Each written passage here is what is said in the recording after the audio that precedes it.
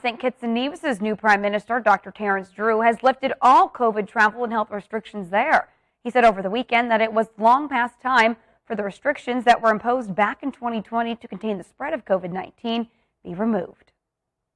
For many months, well before the election campaign began, I challenged the former government continuously to end the travel restrictions placed on our people that no longer had any scientific or medical merit. It was clear these restrictions were being used to oppress and suppress the will of you, the people. Why should citizens of this country have to seek permission to enter the land of their birth?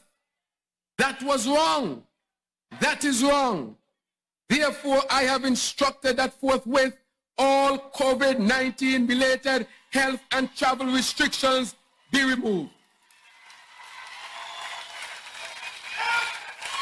Our country is open for business.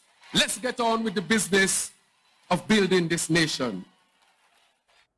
Well, Prime Minister Drew made the announcement at the swearing-in ceremony of members of Parliament and the ministers in his cabinet at the Warner Park Cricket Stadium a week after his St. Kitts and Nevis Labour Party won the August 5th general elections.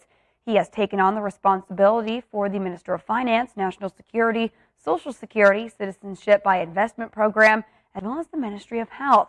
Geoffrey Hanley is Deputy Prime Minister and the Minister of Education, Youth and Minister of Social Development, Gender Affairs, and Aging and Disabilities. Former Prime Minister Denzil Douglas will serve as the Minister of Foreign Affairs, Economic Development, International Trade and Investment and Commerce. Prime Minister Drew is leading a nine member cabinet. It is now time to get to work to deliver results according to the agreed performance objectives and timelines. You are invited to hold us accountable for the good that we can and must do for you, the people.